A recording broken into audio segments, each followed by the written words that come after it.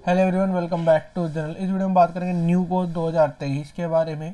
अब तक क्या हुआ और आज के बाद क्या होने वाला है न्यू कोर्स में, सारी चीज़ों को डिस्कस करेंगे। आप सभी से रिक्वेस्ट है कि वीडियो को पूरा देखना, कहीं पर भी स्किप मत करना। वीडियो आपको पसंद आए तो वीडियो को लाइक ज़रूर करना। देखो, सबसे पहले हुआ क्या था कि सर का ये स्टूडेंट जर्नल में आर्टिकल था कि हम न्यू कोर्स के लिए पूरे रेडी है।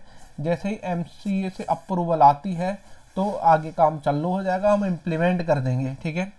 लग रहा था कि दिसंबर, नवंबर में आएगा या फिर चौबीस में आएगा, मई चौबीस में, अभी तक तो कुछ नहीं है लेकिन इसके बाद प्रकाश शर्मा सर का ट्वीट आया, उनकी वीडियो आई कि एमसी के सेक्रेटरी से तो अप्रूवल मिल चुकी है, लेकिन फाइनेंशियल मिनिस्टर के आगे वहाँ तक अभी फ़ाइल नहीं गई है, वहाँ से अप्रूवल मिलते ही न्यू को इम्प्लीमेंट हो जाएगा। और इससे पहले सी अनुपम शर्मा सर बोले कि जो 18 और 19 तारीख को मीटिंग थी, ठीक है? 18 और 19 तारीख को मीटिंग है। ये उन, ये तेरह जनवरी का ट्वीट है कि 18 उन्नीस तारीख को मीटिंग है। उसकी थी।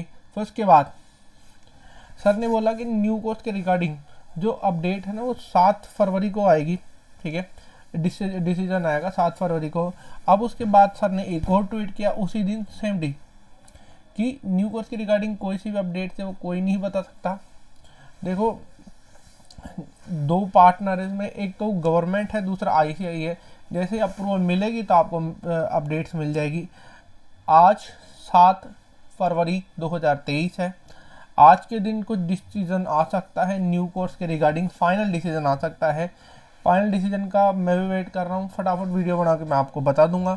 अगर आपको न्यू कोर्स की अपडेट चाहिए तो आपको एक ही काम करना होगा चैनल को सब्सक्राइब और वीडियो को लाइक ज़रूर से करना होगा।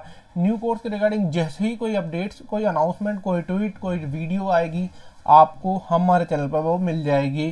थैंक यू आपसे आपको अगर वीडियो पसंद आई तो लाइक करना चैनल पर नए हो सब्सक्राइब करके ज़रूर जाना। इस वीडियो को अपने दोस्तों के साथ शेयर ज़रूर करना। आपसे हम मिलेंगे अगली वीडियो में। Bye bye